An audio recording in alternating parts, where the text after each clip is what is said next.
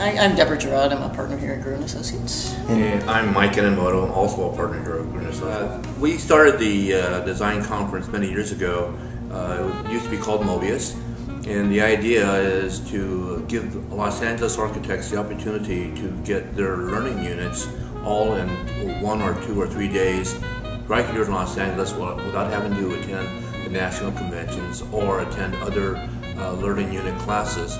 And uh, by combining it into one location during uh, one short period of time, it affords the opportunity for LA architects to get all the learning units all at once. Now we call it the conference, formerly known as Mobius. But uh, it, it's, uh, it's really become a, a great uh, symposium-based conference, and in, instead of the national conference is modeled off of a bunch of small little sessions, and you pick the sessions you want to go to. Here, we're, we're really trying to develop it into these symposia where um, we can really delve into topics in a little deeper format over a slightly longer period of time. So last year we had the transportation symposium, which was an all-day event. This year we're breaking it up into three um, four-hour sessions. Uh, there are like three mini symposia uh, should be uh, quite exciting.